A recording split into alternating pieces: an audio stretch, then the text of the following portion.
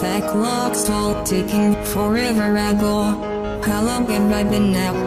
I don't know. I can't get a pet, but I can't let go. There wasn't anything to warn on the floor. I a Why like a